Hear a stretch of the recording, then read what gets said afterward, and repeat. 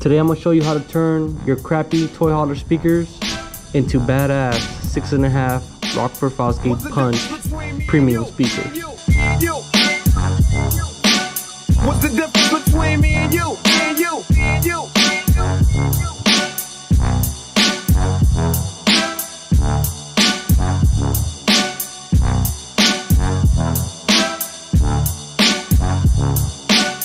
Hey guys, welcome back to the channel. I'm in the toy hauler today and I want to show you guys something that I'm upgrading. So as you can see, these uh, dinky speakers that the toy hauler comes with are no match with these Rockford Fosgate. So we're gonna upgrade to these marine grade six and a halfs by Rockford Fosgate. And I already took the liberty of uh, updating the interior speakers. I put some five and a halfs in here.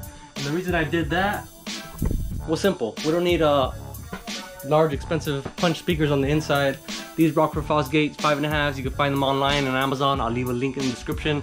I think they were more than 40 bucks. So they look awesome and they sound awesome too, especially when compared to the crap speakers that Trader came with. And most of the toy haulers from Attitude come with these speakers. So it isn't that hard to upgrade the speakers on them, especially in the inside. These are pretty much four screws off and four screws on. The six and a half are gonna require a lot more work. So as you can see, the uh, speaker depth is completely, you know, radically different. It's about double the size. So I'm gonna show you guys today how to run those spacers, how to uh, make sure it's weather tight, you don't get no water intrusion, and you can run these badass six and a half um, marine grade speakers. It's gonna sound awesome. Check it out. So this is the stock radio that my uh, Attitude toy hauler came with. And honestly, it's not the best, but it ain't bad. It's able to play the DVDs for the kids on the TV, and that works for me. So, so running an amplifier for this uh, radio isn't too bad. I already did it, but I want to go give you guys a little overview of what I did. I pretty much grabbed the input circuits from the radio, and they go into the input for the amplifier, and then the uh, inputs used to go from the radio straight to the speaker wires, but um, now it goes from the amplifier to the speaker wires. So now the sound is amplified, sounds a lot better. It's able to power these speakers really good. The um, old speakers were crackling and popping towards a high volume and didn't sound actually very, very loud at all. And I'm gonna show you guys the difference between the stock quality speakers, which are these pieces of donkey crap, and then these uh, badass six and a halves. So I'm gonna show you the audio quality now, and then we'll get to the install. Several months later. All right, so if I look a little different, it's because it's a month later and we're uh, actually currently staying home due to the coronavirus epidemic. But nonetheless, we're gonna keep going and finish the speaker install. So check it out.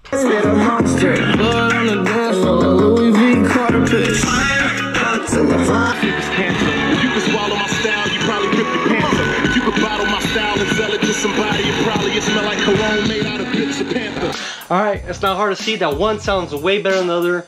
Um, the is pretty high right now, and the uh, original speaker sounds like total dookie. So it's crackling, it's popping, and the actual speaker grill, if you saw in the video, it's already cracking. I mean, it's just been out here sitting in the sun. If I wanted to, I'd go get it warranted, but I don't want these cheap speakers. So let's go on to uh, the install of the new Rockford Fosgate speakers. Chicks are spazzing out. I only get more handsome and flyer. I got them passing out like what you do when you hit. Drinking happy, pack evil, black ink, evil half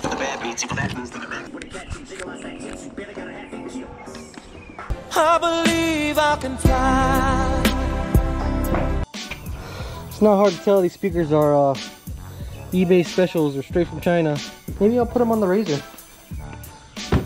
We'll do something with them. So once you remove your speaker, you're gonna wanna use your spacers that I will link in the description um, on the uh, wall of the toy hauler where the old speaker was. You're gonna use this as a template because we're gonna have to cut and trim a good portion. Um, what I wanted to get to is this is about um, an inch of a spacer when I put these together. This is not the greatest idea. Um, you want to use one spacer and um, preferably get one that's an inch in size. I'll try to link one in the description. Um, preferably an inch and a half because you do need space for the speaker to sit inside the wall. But for my case, I'm using two half inches. It works. It worked out on my last speaker and this one's gonna work out just fine. But if you're doing this on your own, um, I do recommend just using one uh, one inch spacer, preferably an inch and a half. You wanna leave enough room for that new Rockford Fosgate speaker or whatever speakers you decide to go with. So I'm gonna put this against the toy hauler and we'll start trimming it. All right, so these spacers are made for six and a half inch speakers, which is what the Rockford Fosgate speakers are. So the reason that we're using these spacers is because the depth of the speaker would hit the back of this wall. So that's why I said an inch and a half would be preferred, but we're gonna use an inch. So we're gonna start by trimming all this off. Um, I recommend a Dremel, that's what I got, and um, we're gonna start doing that now. Make sure to have a mask and glasses. You don't want to be breathing any of this stuff in, especially if it's fiberglass.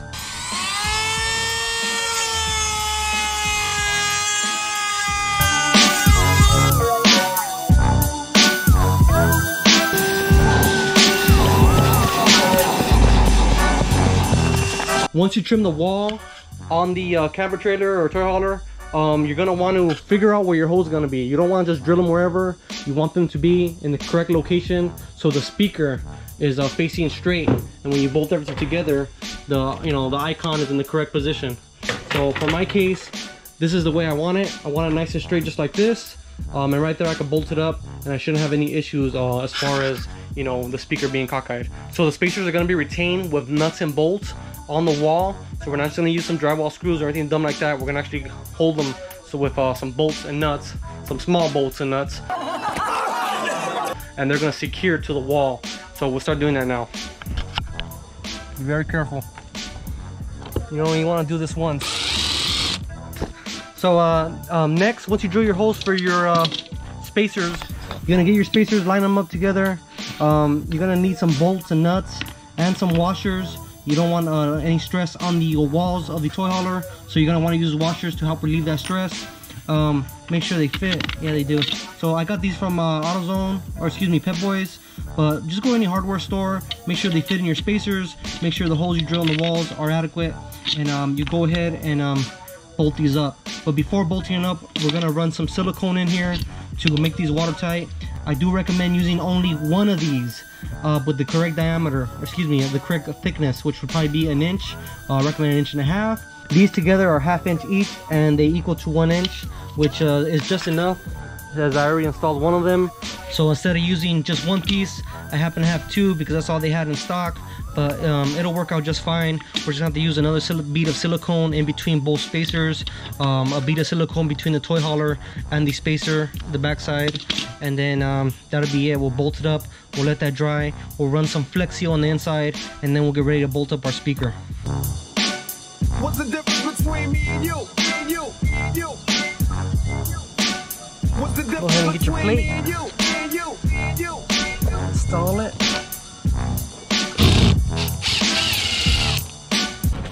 So on the back side, after we run the screws, we're gonna run these space, uh, excuse me, washers on the back side. That way it doesn't have so much stress on the wood and fiberglass uh, portion of the toy hauler. That's that. All right, so once you uh, bolt up your spacers and let the silicone dry, you're gonna use some Flex Seal. This is the secret weapon to keeping this thing watertight and stopping any leaks. Totally waterproof. We're gonna go ahead and spray some of this Flex Seal on the interior cavity there, and hopefully, hopefully, it should keep this from leaking. Right. I've had, I haven't had any issues with the other speaker. It's been like that for about a month and a half, two months, and we went out twice. It's been raining out here in California. Um, yeah, this stuff works, trust me. So we're gonna go ahead and spray this inside, and then we'll follow up with the speaker install.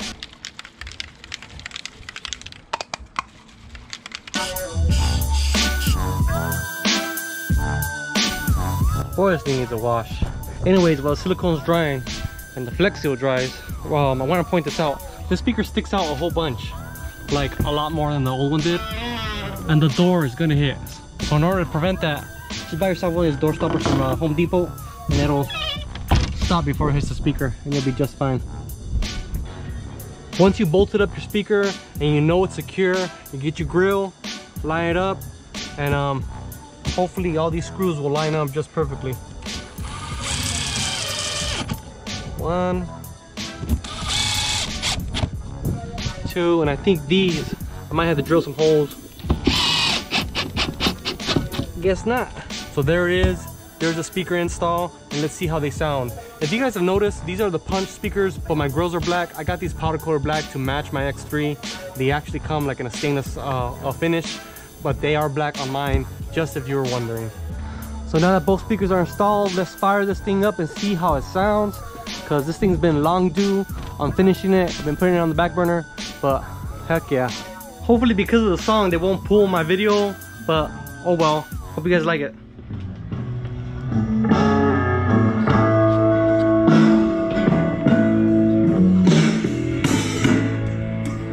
Used to spend my in barroom.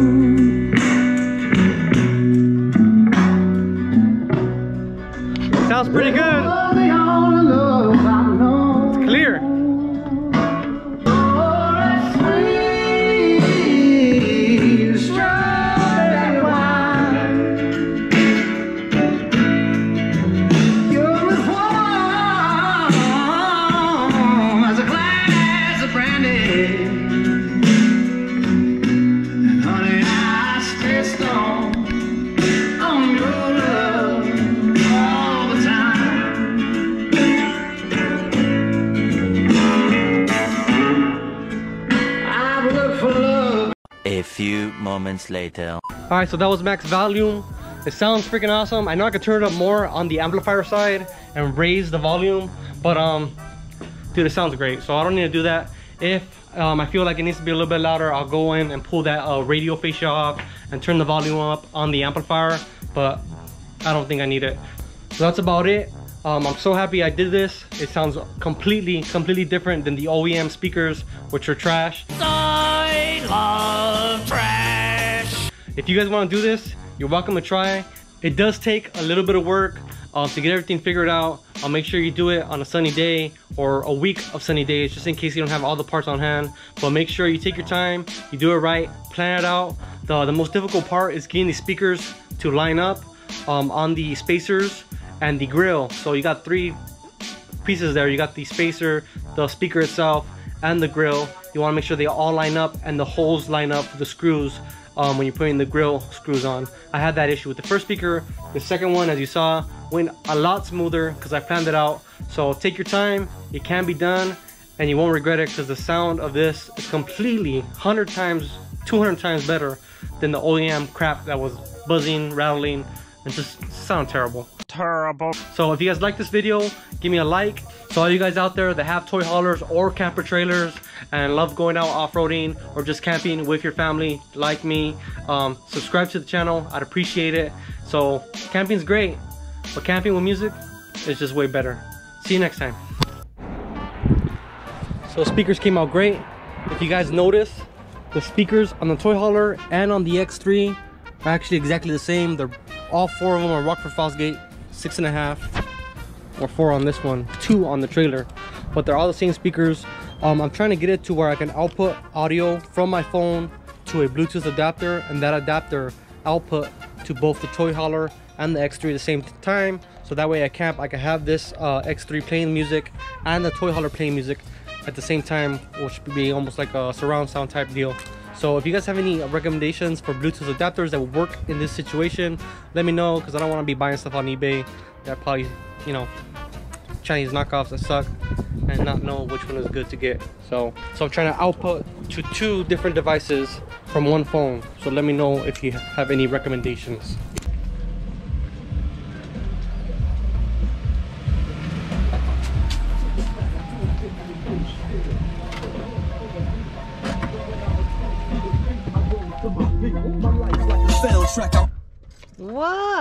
Mom's bumping music and you guys are asleep? That's what put him to sleep. Aaliyah's not asleep. She looks pissed.